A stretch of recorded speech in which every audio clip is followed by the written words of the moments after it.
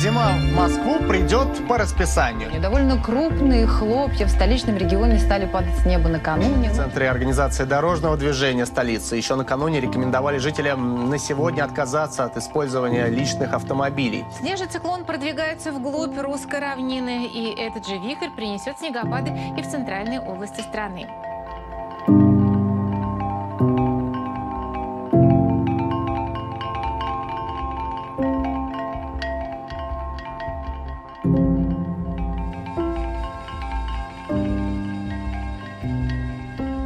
Хотел бы рассказать свою личную историю, которая произошла со мной буквально два или три дня назад. Я имею привычку возвращаться с тренировки, и чтобы ключ мой куда-то не пропал, так как сумка всегда со мной, я ложил ее вот сюда.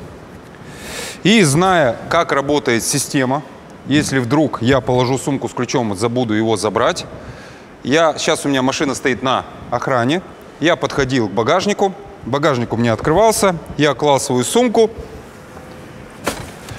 и зная, что система работает следующим образом, что она рассчитывает человеческий фактор, что ключ может оказаться в багажнике, и чтобы машина не, за... не встала на охрану и не случилось такой неприятной ситуации, что вы не можете попасть к ключу, обратите внимание, багажник открылся обратно. То есть система на данный момент распознала ключ и не позволила багажнику закрыться. И если я подойду к двери. Дверь, естественно, так как у меня нет с собой ключа, она не распознает присутствие ключа рядом с ручкой, естественно, не откроется. Тогда я вспомню про свой ключ и опять открою багажник. Но случилось буквально два дня назад три, следующая ситуация. Я положил свой ключ вот так вот. И, как ни странно, до сих пор непонятным для меня причинам, в итоге багажник закрылся.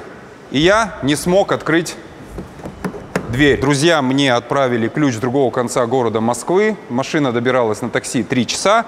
В итоге я кое-как уехал. И еще надо же, на втором ключе села батарейка. И мне пришлось э, открывать дверь при помощи личинки, срабатывала сигнализация, люди смотрели на меня как на идиота, я прикладывал к иммобилайзеру рулевой колонки и в итоге получал доступ к своему автомобилю. На самом деле э, есть уже данная проблема на автомобилях, и завод-производитель выписывает так называемые рекомендации, суть которых заключается, что если такая проблема случается, то нужно обновить так называемый модуль КВМ. Это модуль без ключевого доступа. Еще раз хочу сказать, что это модуль относится к системе security, то есть это охранная система, система.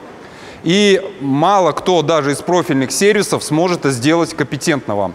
И может случиться такая ситуация, что даже в условиях дилера и современной диагностической системы этот модуль КВМ может просто отъехать.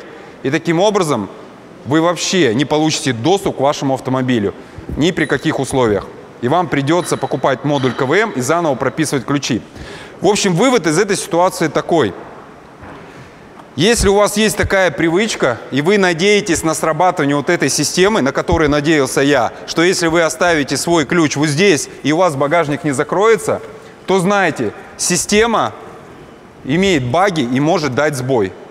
И вот буквально прошло два дня, и как видите, она работает. Я ничего не перепрограммировал, и в принципе ничего перепрограммировать не буду. Я просто буду внимателен и буду стараться вот этот ключ всегда держать при себе и не попадать в такие ситуации. Это единственный вывод, который я сделал для себя.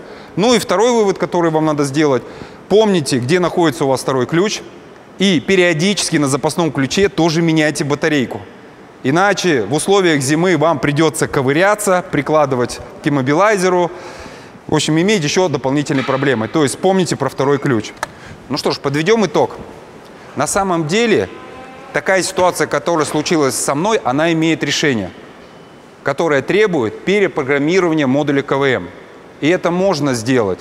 Но даже при условии, что у вас будет современное и правильное диагностическое оборудование, и вы будете это делать в условиях дилерского центра, может возникнуть ситуация, что ваш модуль КВМ может отъехать.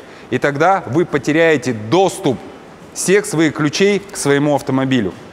Поэтому мой вывод простой. Старайтесь не оставлять ключ в багажнике, потому что может случиться такой сбой программного обеспечения, и ваша машина не откроет вам багажник. И всегда помните, где у вас запасной ключ, и вставлена ли в нем свежая батарейка. Надеюсь, информация была полезная. Подписывайтесь на наш канал. Кстати, если у кого-то были подобные случаи, и его ключ оставался запертым в багажнике, и багажник ему не открывался, напишите об этом в комментарии. Какой у вас был автомобиль, какие были обстоятельства. Нам всем это будет очень интересно. Желаю всем удачи.